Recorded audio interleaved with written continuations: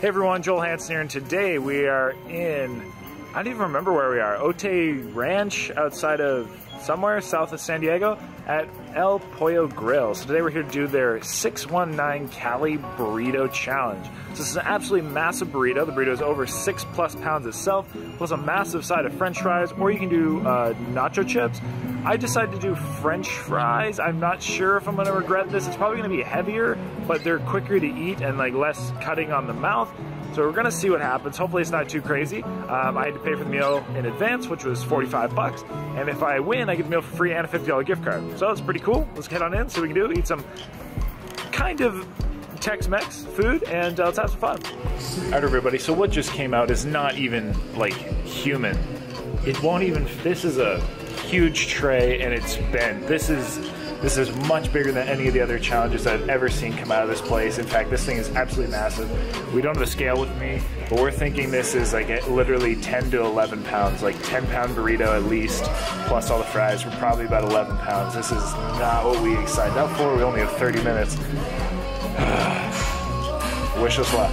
All right, so let's start the count of five, four, three, two, one. Let's eat the massive burrito. Hey everyone, welcome to today's video where today we're at El Pollo Grill. Yes, so if you're a native English speaking individual, Polo, P-O-L-L-O, that's how it looks like it's pronounced in English, but it's pollo in Spanish, and it means chicken. So basically we're at the Chicken Grill.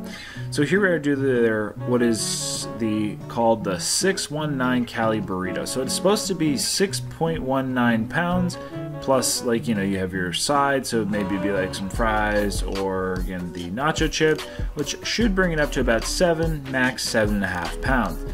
Well as you can see here what i got is absolutely a monstrosity of a burrito. By far the biggest burrito i've ever seen. I think this is probably the biggest burrito challenge in california. Uh, and anyway it was by far the biggest burrito like just it was it was ridiculous. Uh, when it came out, I was absolutely bewildered. I was like, "What is that?" And I mean, you can see it for yourself. It's just it's ridiculous. It's pretty good. Not bad.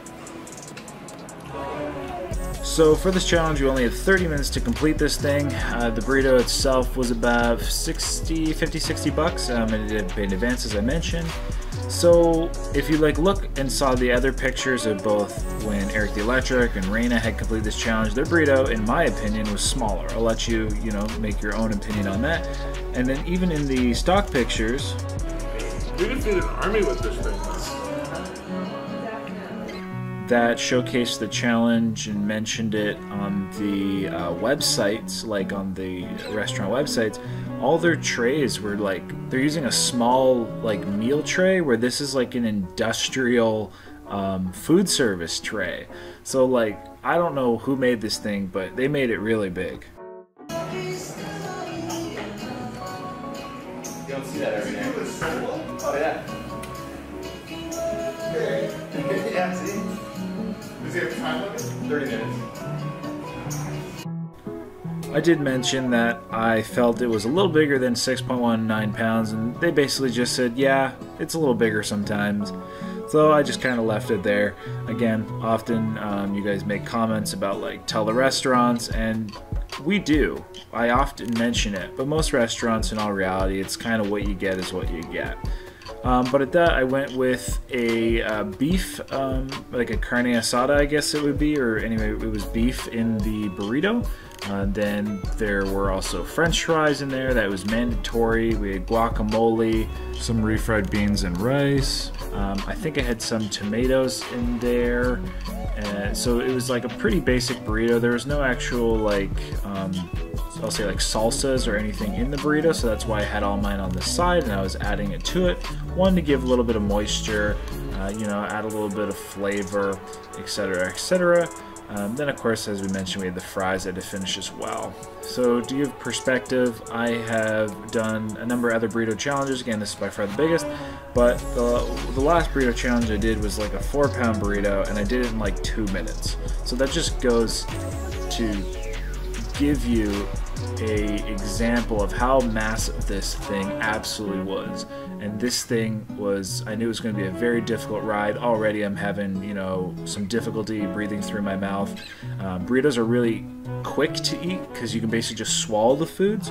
But I mean, that means you fill up really quickly because you're consuming a lot of food very quickly. But that, everybody, I'll let you get the rest of the video and hope you enjoy. There's something harder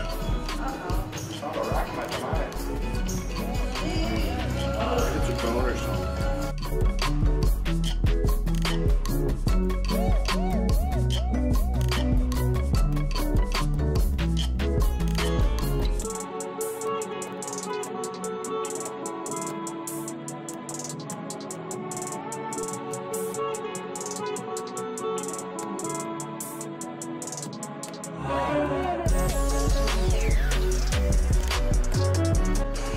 I'm not doing the bell.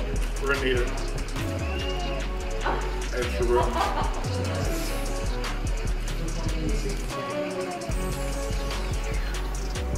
I already have one baby in me.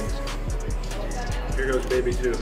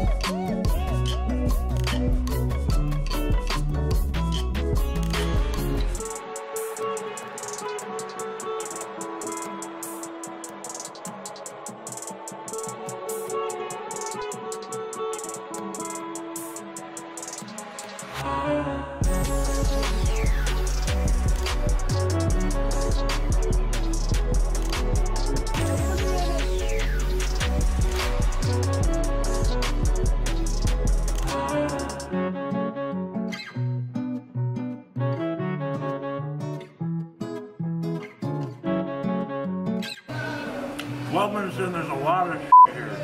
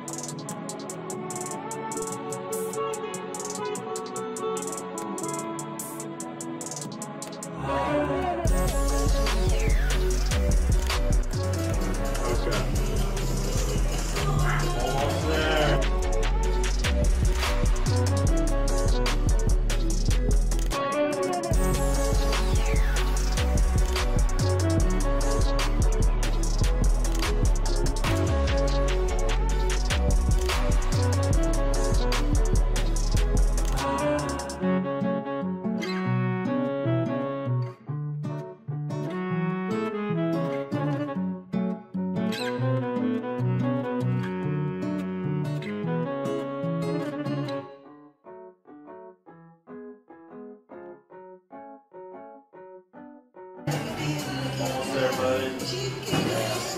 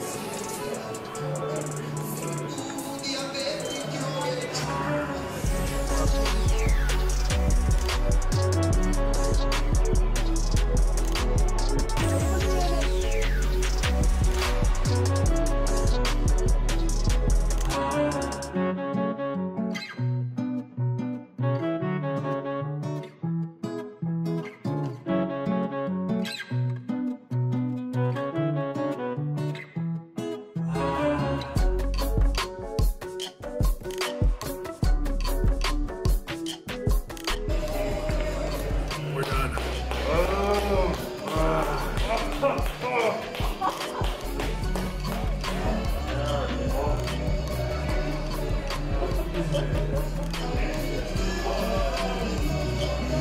time is it? 21.50. So 21 minutes, 50 seconds. You just ate multiple, the equivalents of multiple newborn children.